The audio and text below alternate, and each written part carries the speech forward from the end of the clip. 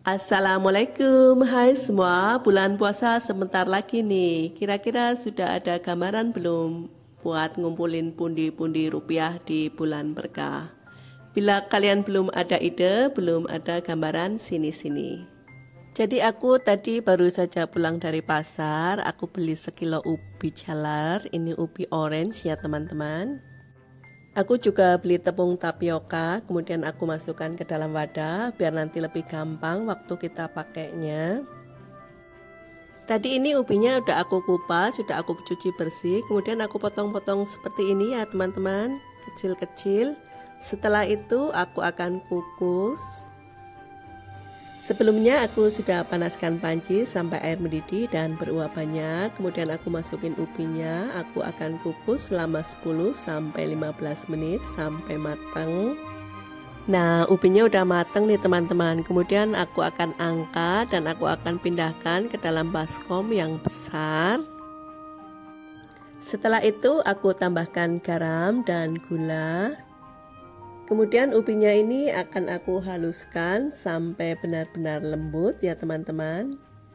Bisa menggunakan alat seperti ini, bisa juga menggunakan garpu. Kalau tidak ada, kalian bisa menggunakan ulekan juga bisa yang dialasi dengan plastik ya.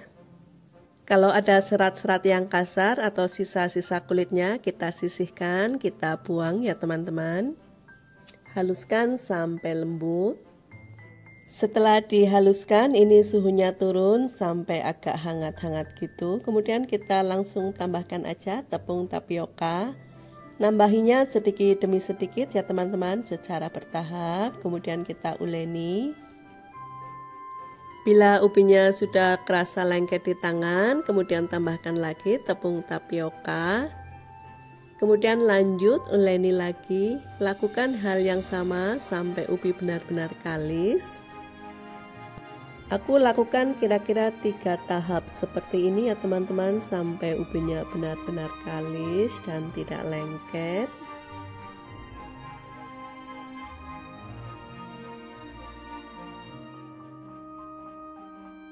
Kemudian ambil sedikit adonan, bulatkan dengan menggunakan telapak tangan.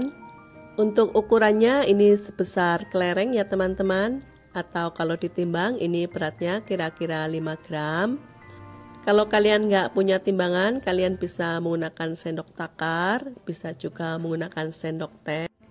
Jangan terlalu besar ya teman-teman, karena nanti setelah direbus ini akan melar.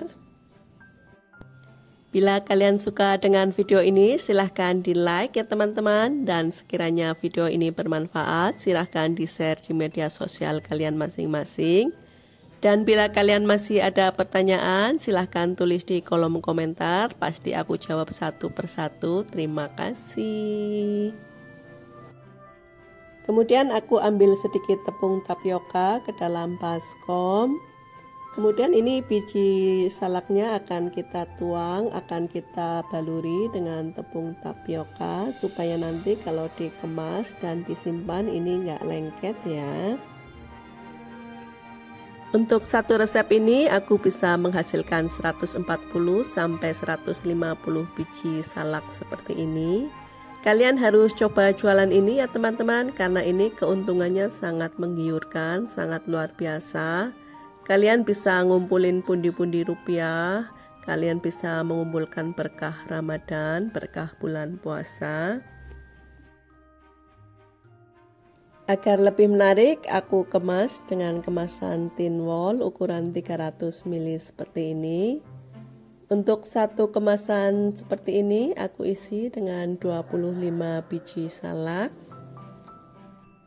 Untuk kemasan seperti ini sangat praktis ya teman-teman. Ini mudah banget kalau buat COD, mudah banget kalau buat deliverynya. Untuk disimpan di kulkas ini juga hemat tempat dan sangat aman. Gimana teman-teman sejauh ini gampang kan? Setelah itu kalian tinggal pasang status di WA, di Facebook, kalian bisa tawarin ke tetangga, ke teman kantor, ke saudara. Agar lebih menarik, aku pasangin juga stiker ucapan terima kasih seperti ini.